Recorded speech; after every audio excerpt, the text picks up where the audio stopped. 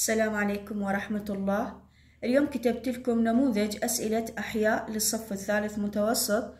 كتبت ثمان أسئلة مو مرشحات وإنما نموذج آه، من السنوات اللي سابقة. لأن إذا مرشحات لازم هواية أكتب. فراح أكتب آه، منه هيجي نماذج بس الأسئلة الوزارية. السؤال الأول عرف ما يأتي. أولا الفتحة البوابية. هي الفتحة السفلى للمعدة والتي تصلها بالاثنى عشر عشري عليه عضلة عاصرة بوابية تمنع رجوع الغذاء من الاثنى عشر إلى المعدة. اليافوخات هي فراغات بين العظام وتكون غضروفية ليفية توجد في آه، جمجمة الطفل وبذلك تختلط جمجمة الطفل عن جمجمة تختلف. هذه تختلف مو تختلط تختلف. تختلف جمجمة الطفل عن جمجمة الإنسان البالغ لتسهيل ولادته. الأنزيمات مواد عضوية معقدة يكون يكونها الجسم في غدد في غدد خاصة وظيفتها المساعدة في إنجاز وظائف الجسم مثل الهضم وإفراز اللعاب. مثل الهضم وإفراز اللعاب. الأطفال الخدج هم الأطفال الذين يولدون قبل موعد الولادة الطبيعية ويكونوا ويكونون غير مؤهلين للعيش والبقاء على قيد الحياة ما لم يصفوا في أسرة خاصة وعناية طبية لفترة من الوقت.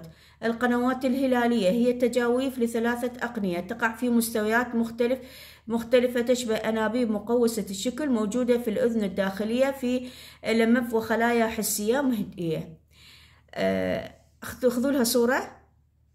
يلا عيني. هذه الورقة الأولى. حتى أخليكم تأخذوا لها صورة.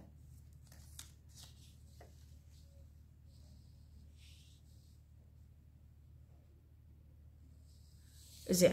السؤال الثاني املأ الفراغات الآتية. أه تقسم عدد عظام القحة أه أه لا مو تقسم. عدد عظام القحف ثمان عظام وعدد عظام الوجه 14 عظما. القلب عضو عضلي مخروط الشكل موجود في القفص الصدري بين الرئتين يولد الأطفال الخدج في الشهر السادس. النطف هي خلايا حاوية على نصف العدد على الأصلي من الكروموسومات التي تتحد لاحقا مع الخلايا الأنثوية. السؤال الثالث ما المسؤول عن آه، آه، تغليف وحماية نهاية العظام الغضاريف؟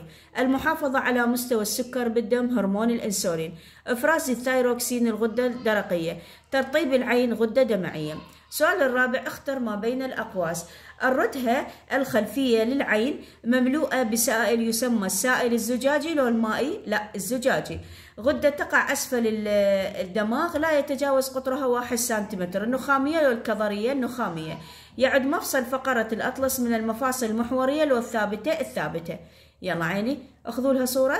خاطر ننتقل إلى آه، بقت لنا آه، ورقتين.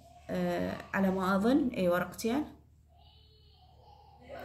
زين. السؤال الرابع ارسم مع التأشير واحدا مما يأتي يعني يعطونك رسمين وانت تختار واحد المظهر الخارجي للعظم والأمعاء الغليظة في الإنسان. السؤال الخامس علل ما يأتي ولادة توأم غير آه توائم غير متماثلة بسبب نزول آه بيضتان من المبيض ويتم الإخصاب في الوقت نفسه.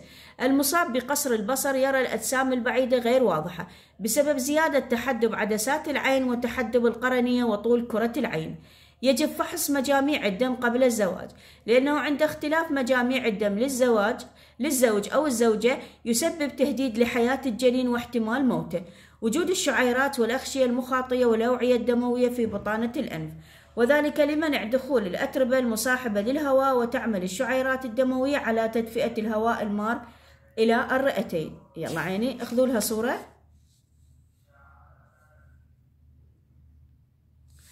السؤال السادس يقول لك آه، تؤثر على التئام الكسور العظام عوامل عديدة اذكر خمسة فقط. أولا العمر أولا العمر أو نوع الكسر والغذاء والتداوي والجبيرة وموضع الكسر. السؤال السابع عدد أقسام الأمعاء الدقيقة ثلاثة الاثنى عشر والصائم واللفائفي. ما الفرق بين الأطراف العليا والأطراف السفلى للجهاز الهيكلي؟ طبعا أنا بس آه، عددتها أنتم آه، لازم آه، يعني آه، تعرفون أو كل واحد إيش قد العظام مالته.